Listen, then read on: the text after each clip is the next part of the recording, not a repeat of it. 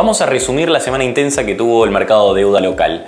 Dos situaciones muy importantes en el universo provincial. Primero la provincia de Buenos Aires. Finalmente Axel Kisilov mandó una solicitud para patear el principal que tiene que pagar el Buenos Aires 21 Oldum, un bono emitido por Sciole a finales del 2015 desde el 26 de enero hasta mayo. Esto le daría a la provincia unos meses para poder alcanzar una negociación, sí, de toda la deuda. Recordemos que es, un tema muy importante para la provincia. Son casi 2.700 millones de dólares los que vencen este año entre intereses y principal. Y además le daría también un poquito de aire, un poco de coordinación, para que Guzmán, y en tanto, pueda renegociar la deuda del soberano.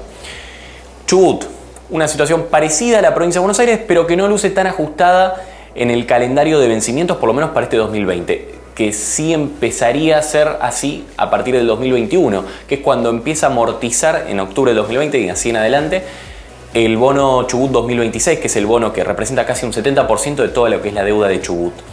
Ahora bien, ¿qué pidió el ministro de Finanzas? Todavía no mandó una solicitud formal, pero sí dijo que buscará años de gracia, cuatro años de gracia en pago de amortizaciones y una pequeña reducción en los cupones, así como también buscará un ajuste fiscal y con esto irán a los bonistas para tratar de convencerlos. Difícil es que se pruebe por el lado de la provincia de Buenos Aires, es difícil que coincidan el 75%, por lo cual se abre acá un signo de interrogación, ¿qué hará la provincia de Buenos Aires? ¿Pagará o no pagará? que eso prácticamente es entrar en cesación de pagos o no entrar en cesación de pagos. Y en Chubut eh, todavía estamos a la espera de una solicitud formal de qué va a hacer con el Chubut 26.